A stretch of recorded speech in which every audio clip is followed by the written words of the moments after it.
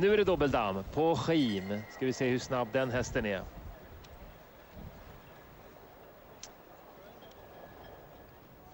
Han vann ju sin första världscupseger i Helsingfors för fyra år sedan. På den här hästen.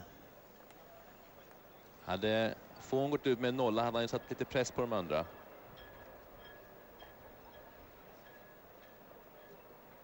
Den sista ryttaren kom in i drömläge för att om eh, Geron rider fel, eller har fel, då behöver han bara gå felfritt för att eh, ta guldet. Precis, det är alltid en fördel att rida sist i en omhoppning.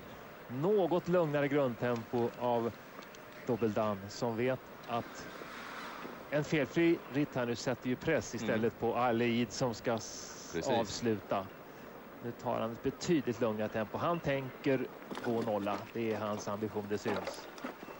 Kommer han säkert att säkra upp mot den bruna räcket här också. Det gör han ja.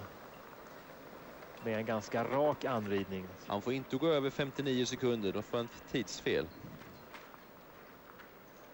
Det kommer han att klara, det är 20 sekunder kvar där. Nej, han rider verkligen. Han rider inte som om det var omhoppning. Han rider Nej. som en stadig grundomgång bara. Kanske klokt. Ja.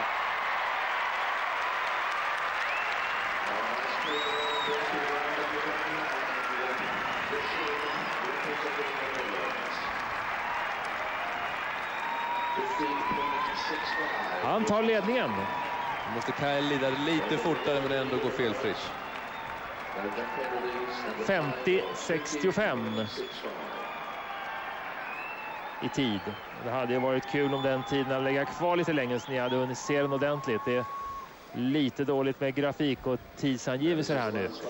Men leder gör dubbeldamm före Forn och nu kommer Khaled Al